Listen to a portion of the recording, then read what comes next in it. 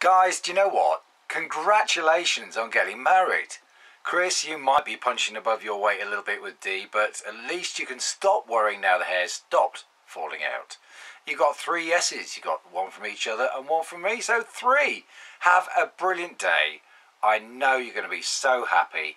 Have a great party tonight and celebrate. You've got that special wedding factor. Brilliant. Guys, all the best.